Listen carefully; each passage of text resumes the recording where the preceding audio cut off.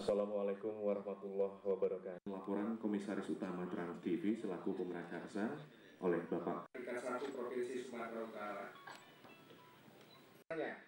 Pangdam Bukit Barisan dan Kapolda dengan segenap jajarannya seluruh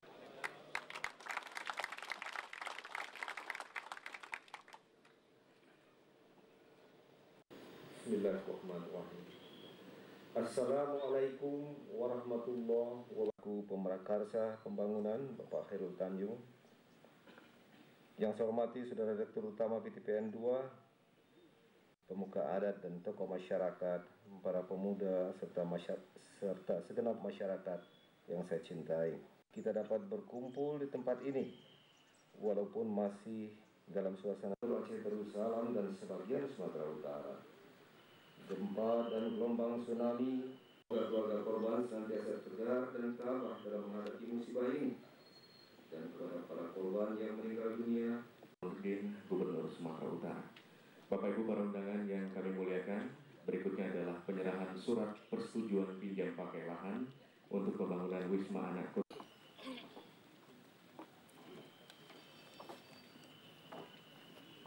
meniatkan hal yang sama.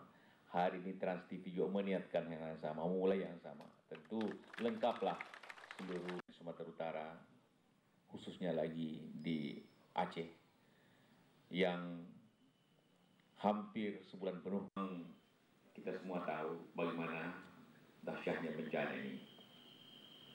Dan sedahsyat apa pun bencana, cuma Allah yang tahu. Kita dapat memperkirakannya. Sampai sekarang yang dikuburkan di bawah pimpinan Pak Ali Syihab bisa mencapai 50 ribu orang anak.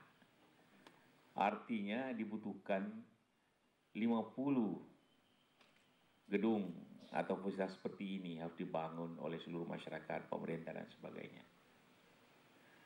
Suatu jumlah yang sangat besar sekali karena anak yatim tentunya berbeda dengan pengungsi.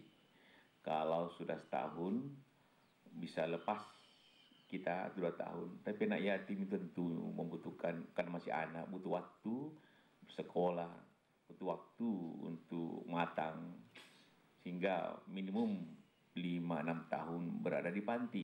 Karena bencana bukan hanya tsunami. Tsunami tentu akan berakhir seperti katakan setelah mereka besar lima tahun. Dan bahwa tentu prioritas utama untuk anak-anak Aceh harus dibina di Banda Aceh. Tapi seperti saya katakan kebutuhannya sangat besar sekali. Dan yang kedua, Terima kasih kami ucapkan kepada Wakil Presiden Republik Indonesia yang sudah menyampaikan sambutannya. Bapak Ibu para undangan yang kami muliakan, selanjutnya kita akan ikuti Bihi ajma'in. Ya Allah, Tuhan yang Maha Mengetahui. Pada hari ini kami berkumpul di tempat ini dalam rangka peletakan batu pertama Wisma Anak Korban Bencana Nanggro Aceh, Darussalam, dan Sumatera Utara.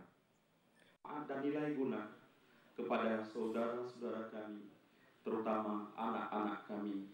Dan rezeki yang telah engkau anugerahkan kepada kami. Oleh Ini direksinya PTPN 2 Pak. PTP 2 Pak. Iya, iya, selamat. Iya, Iya, sama-sama. Baik. Asir Pak, supaya nggak ada dasarnya Pak. Ah, iya lah. Oh, bisa merusak. Baik. Bismillahirrahmanirrahim.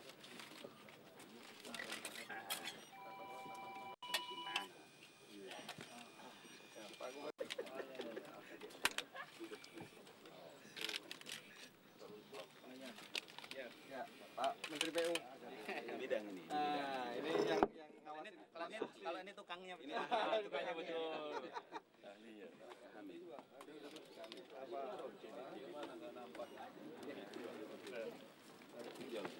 Biar berkah. Kata Pak Wapres semua biar berkah. Amin. Yang punya tanah. Oh iya. Mesti. Yang punya tanah negara. Yang punya Awak tanggung jawab Insya Allah Pak. dengan negara punya. Siapa? Itu lagi. Saya. Oh, Pak, siapa Bapak, Pak? Nah, ini sepakat. Sepakat. Aceh sepakat harus sepakat, nggak boleh tidak sepakat. Betul, betul, Pak.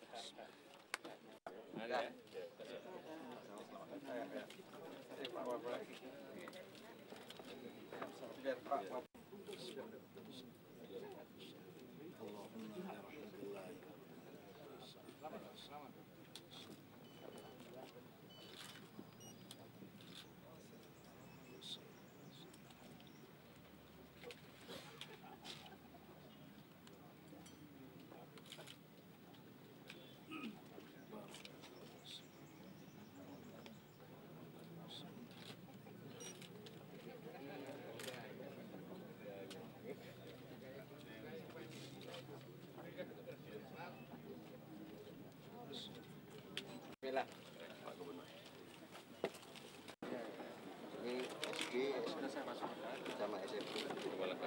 Iya, kalau ini rencana Nah, Ini masjid yang sudah ada itu kantor pengelola sama Di dalamnya. Oh. Satu untuk ruang pengasuh. Yang penting ini harus. Enam kali enam. Kali itu enam tempat. Iya. Pak, ini di total Pak. Nih Pak Menteri PU mau ditugasin khusus. Ini Pak. Sek satu, sek dua. Main, main, main. Yang yang sek satu, sek satu, sek satu, sini sek satu. Pesawat. Iya. Selamat pagi, wassalamualaikum warahmatullahi wabarakatuh.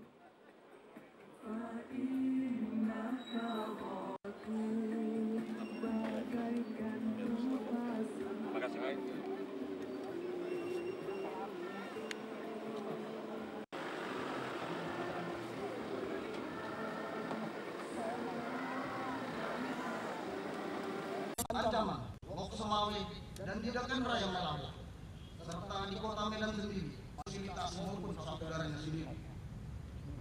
Para perwira di makanan saya yang harus dipedomani dalam pelaksanaan tugas adalah sebagai berikut. Personil menjaga etika dan sopan santun meski harus tetap patuh pada aturan. Paskas. sedangkan di Bandara Si- Silangit Koba di dengan nur hidayahmu agar kami terhindar dari godaan dan nista kami mudahkanlah urusan kami. Engkau maha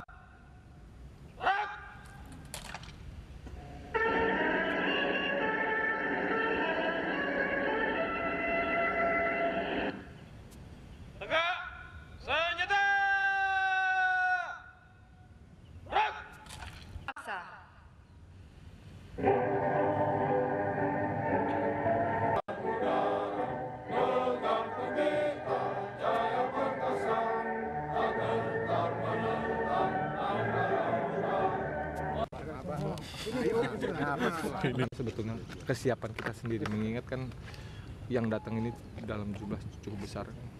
Eh, baik, jadi memang eh, sejak saya menerima informasi dari gubernur untuk eh, kebutuhan alat angkut dalam hal ini pesawat udara dalam mendukung kegiatan para gubernur sedunia di wilayah Sumatera Utara ini, beliau meminta saya menyiapkan dua Hercules, satu CN235 atau F27 yang nanti akan digunakan tanggal 8 dan 9 ke SIM eh, apa Sultan Iskandar Muda untuk eh, para gubernur ingin melihat bencana alam bagi mereka yang belum sempat melihat baik itu dari gubernur di belahan dunia eh, Eropa maupun Amerika. Kemudian tanggal 9 eh, sore nanti kita akan bergerak eh, mendukung mereka menuju ke eh, Bandara Silangit eh, Toba. Sedangkan yang ke Toba itu tidak bisa Hercules karena maksimum pesawatnya hanya CN eh, 235. Kemarin sudah eh, mendarat di sana pesawat F27 bukan punya kita eh, dan F50 yang dari sipil juga. Sedangkan kita nanti akan mendukung sesuai perintah dari gubernur. Pak pengawasannya sendiri siapa yang akan bertanggung jawab dalam artian kan nanti kan tidak sedikit pesawat yang akan lalu lalang di sekitar kita. Eh, Terima kasih. Jadi untuk pesawat udara sama seperti halnya ketika kami menangani operasi kemanusiaan kemarin, semua operasi udara itu di bawah tanggung jawab Lanut Medan. Baik itu perizinannya yaitu flight clearance, security clearance itu kita cek di bawah. Kalau dia nggak ada meskipun dia gubernur, kita tetap sesuai aturan karena supaya negara kita nggak dipakai main-main sama orang. Jadi kalau dia memang sudah eh, punya izin, tentunya hari ini dia sudah ada izin sama Deplu izin sama untuk uh, security clearance, uh, flight clearance sama flight approvalnya. Jadi kita nanti hari ini bertugas bagaimana cepat untuk ngecek pesawat-pesawat apa saja yang datang untuk mengatur uh, di mana dia parkir karena kalau dia datang misalnya pesawatnya itu uh, besarnya seperti uh, 757 Ilyusin itu nanti akan kesulitan seperti halnya sama waktu operasi kemanusiaan. Kita anggap mereka datang 100 saja ke gubernur atau 50 aja gubernur. Kalau 50 pesawat nggak akan muat udah bandara ini.